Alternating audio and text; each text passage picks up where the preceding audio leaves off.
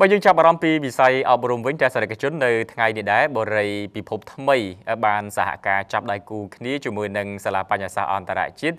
បើកដំណើរការបាទថ្នាក់សិក្សាបាទនៅក្នុងបរិយាពិភពថ្មីនៅ4ទីតាំងដោយកម្រិតសិក្សាចាប់ពីថ្នាក់មត្តេយ្យរហូតដល់ថ្នាក់ទី12នេះគឺជាការរួមចំណែកបន្ថែមទៀតជាមួយនឹងរាជរដ្ឋាភិបាលកម្ពុជានៅក្នុងការលើកកម្ពស់បាននៅវិស័យអប់រំដែលជាវិស័យដែលរាជរដ្ឋាភិបាលបានយកចិត្តទុកដាក់នៅពេលបច្ចុប្បន្ននេះ ពិធីចុះហត្ថលេខានៃកិច្ចព្រមព្រៀងសហប្រតិបត្តិការរវាងបរិយាពិភពថ្មីនិងសាលាបញ្ញាសាស្ត្រអន្តរជាតិធ្វើឡើងក្រោមវត្តមានអ្នកអង្គការហុងពីវម្ចាស់បរិយាពិភពថ្មីនិងបណ្ឌិតកុលផេងស្ថាបនិកប្រធានសាកលវិទ្យាល័យបញ្ញាសាស្ត្រកម្ពុជានិងសាលាបញ្ញាសាស្ត្រអន្តរជាតិនៅវេលាប្រកាសទី7ខែមករាឆ្នាំ2022នេះក្នុងពិធីដែលធ្វើឡើងនៅទីតាំងបរិយាពិភពថ្មីសែនសុកក្នុងសង្កាត់ភ្នំពេញថ្មីខណ្ឌសែនសុករាជធានីភ្នំពេញអ្នកអង្គការហុងពីវម្ចាស់បរិយាពិភពថ្មីបានថ្លែងថា គិតមកទល់នឹងពេលនេះបូរីពិភពថ្មីមានបទពិសោធន៍សាងសង់លំនៅឋានរយៈពេលជាង18ឆ្នាំទៅហើយដោយបានសាងសង់សម្រាប់បានចំនួន43ទីតាំងនៅទូទាំងរាជធានីខេត្តសរុបចំនួន57000ផ្ទះ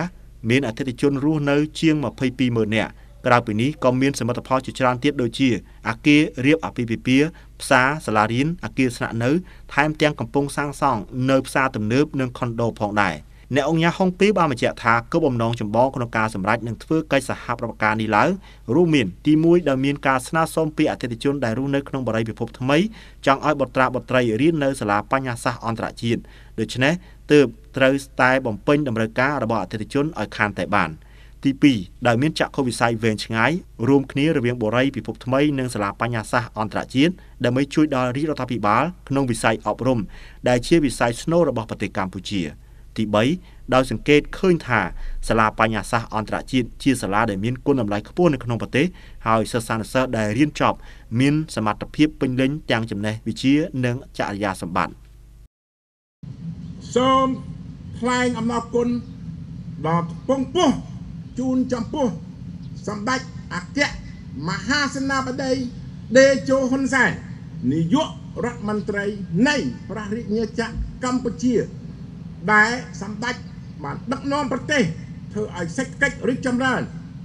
ហើយខ្ញុំបាទសូមរួមចំណែកក្នុងការអភិវឌ្ឍប្រទេសលើវិស័យអប់រំ បណ្ឌិតកុលផេងបានមានប្រសាសន៍ថាបន្ទាប់ពីប្រមុខរាជរដ្ឋាភិបាលបានអនុញ្ញាតឲ្យបើកសាលារៀនឯកជនចាប់ពីឆ្នាំ2000មកមកដល់ឡើងពេលនេះទើបមានសាលារៀនឯកជនមានជីវិតរីកដុះដាលច្រើនឡើងច្រើនឡើងដូច្នេះសម្ដេចតេជោហ៊ុនសែននាយករដ្ឋមន្ត្រីបានលើកទឹកចិត្តដល់សាលារៀនឯកជនបង្កើតបន្តបន្ទាប់គ្នារហូតមានច្រើនចឹងតួនាទីវាដូរនៅតូចម្ដាយមើលធំបន្តិចគ្រូមើល ត្រង់ចំណុចនេះព្រះសម្មាសម្ពុទ្ធសម្ដែងថាគ្រូជាមុខវិជ្ជាដ៏ប្រសើរបំផុតលើលោកនេះ teaching the teacher is the noble profession ប្រែថាជាវិជ្ជាជីវៈដ៏ឧត្តមឧត្តមសិរីមង្គលចឹងយើងសប្បាយចិត្តក្នុងបំពេញទូនាទី ឲ្យពន្លឺដល់អ្នកចំនួនក្រោយកុលបុត្រកុលធីតាខ្មែរអ្នកដែលដើรงងឹតជន់បន្លា កាលណាមានបញ្ញា គឺពន្លឺដោយសារការអប់រំនេះ